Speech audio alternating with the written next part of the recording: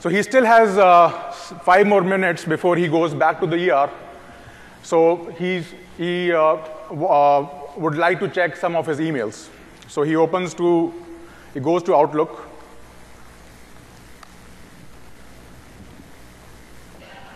and opens that uh, application.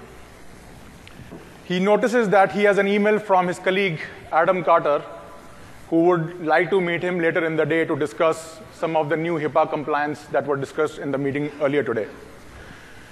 So instead of emailing him back, he wants to reply him instantly, but finds out that the green box that used to be available next to Adam's name is no longer available.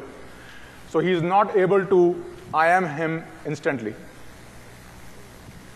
This makes, it, this, this makes Ed really worried because he's a busy doctor and he needs to collaborate with multiple doctors in real time. See, he, so he calls Max in the IT department to fix the issue. Max knows that Ed is a senior doctor, and if the problem is not fixed, he will escalate this issue to his manager as soon as possible. Management console.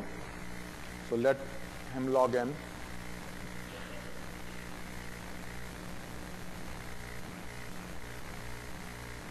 So here you see the newly designed uh, web-based App-V management console.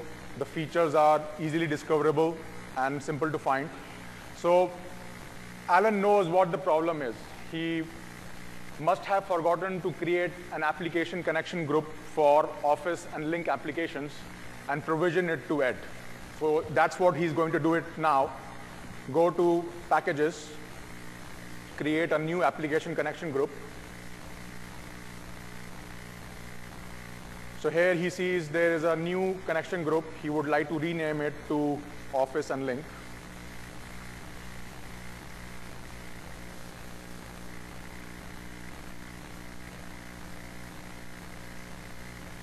He sees the applications that are available to him to create a application connection group. So he adds Lync and Office to it and hit apply. The next task he has to do is grant access to that application connection group to Ed. So he, Ed, he finds the doctor's user group to whom this application connection group needs to be granted access.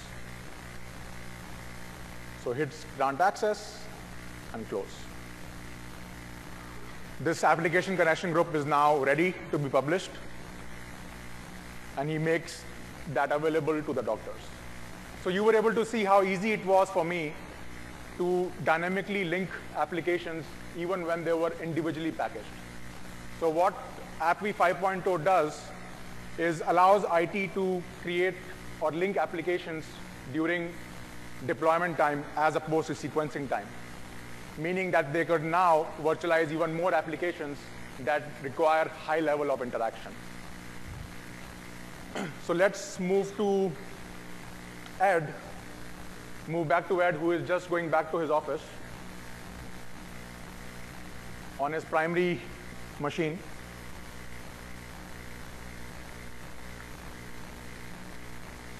He's really interested to know if Alan really fixed the issue.